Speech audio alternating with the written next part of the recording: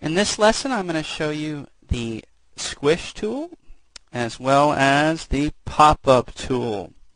Both are in behaviors, just like the previous lessons we've learned. So if we pull up our panels and our tag panel under the behaviors tab, I think I accidentally put a comma here, so let me delete that. There we go. All right, the Squish tool. It does exactly what it sounds like it does. Squishes whatever the item you've selected down to nothing. So, in this case, we're going to experiment and do that with the picture we have here on our classic page, Poetry of the Future. Make sure that picture is chosen. And, oops, um, I already had it in there, so I didn't want you to see it because we're going to add it right now.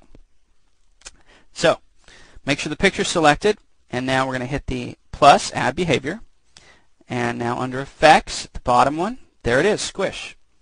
Now here's, here's an interesting thing. You can choose what target element you want.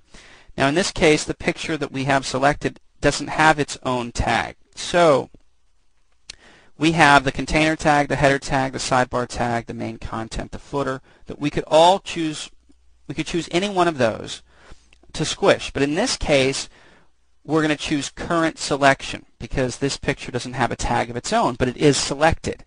So, click OK. And now we have our options. Now, when do you want it to squish? When you double click, when you click, when? We're going to choose on click, which is what we've commonly been using and is most often used on the internet. Now, let's hit Control S to save and then pop up our preview in web browser, allow blocked content, yep. And now, when we click on the picture, guess what's going to happen? Disappears.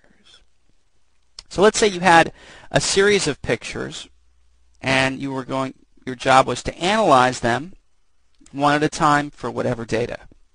So let's say you had the first picture, you've analyzed it, you've recorded the data, then you click it, disappears. And you go to the next picture, analyze it, click it, it disappears. That's just one example where you might use this. And the picture isn't going to come back until you refresh the page, like so.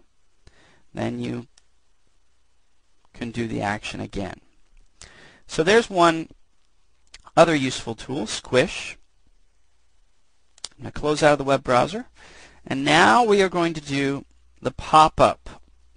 And boy, we've all experienced it, pop up some websites. That can be annoying. They can be useful. But now we get to be the one to create the pop-up. So let's select this word maybe. And now we're going to go plus, add the behavior. Now it's not under effects like we've been going. It's under pop-up message from the main menu. So that's what we're going to hit. And it's very simple. What do you want the pop-up message to read? I'm going to just say something corny like maybe you shouldn't have clicked this. Now I must report you. I know, it's corny. Hit OK. And actually I already had this in here because I did it previously. Now we have our choice, so I just hit the minus sign to delete the other one because it's a double of the same exact behavior. And of course, like anything else, we can hover, um, but I'm going to choose on click as the triggering mechanism. So, now, so you click on maybe, we see that behavior pops up. You click anywhere else, no behavior associated with that section. So, just like our picture over here, you click on it, we can see the behavior now associated with it.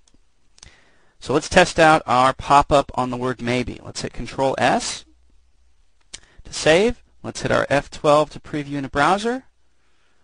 Let's enable blocked content. And now we're going to click on maybe. And voila! Maybe you shouldn't have clicked this. Now I must report you. Yeah, anyway. So, those are two more interesting useful, semi-useful effects that can be used in Dreamweaver as behaviors. So save your changes if you like, and we shall move on.